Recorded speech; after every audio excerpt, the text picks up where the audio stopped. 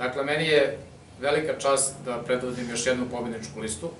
Za neki dan očekujemo raspisivanje izbora i ja se zahvaljujem svim mojim kandidatima, svim mojim saradnicima, jer smo naporno radili na formiranju liste od 56 odborničkih kandidata.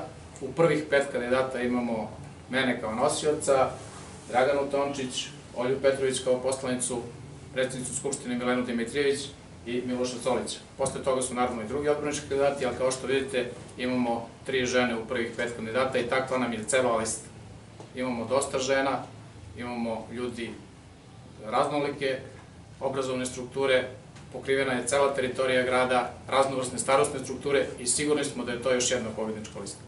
Kao što ste čuli od načelnice okruga i naše kandidatkinje za odborničkog kandidata, imamo i koalicijne partnere.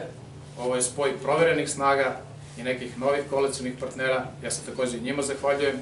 Nadam se da će dati pun doprinos ovoj kampanji.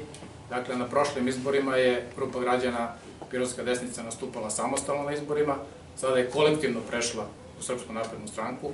Pored toga, provereni ovaj koalicijni kandidat je pokret socijalista.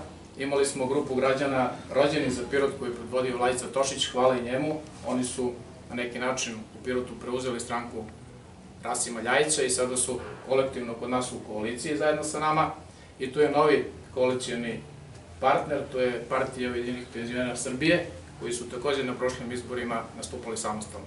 Dakle, ovo je spoj jednih, da tako kažem, mladosti i iskustva, proverenih snaga i novih snaga i ja sam siguran da ćemo mi odneti još jednu ubedljivu pobedu, jer kao što i slogan naše kampanje glasi, Pirot ne sme da stane, Srbija ne sme da stane, a mi idemo dalje u pobedu.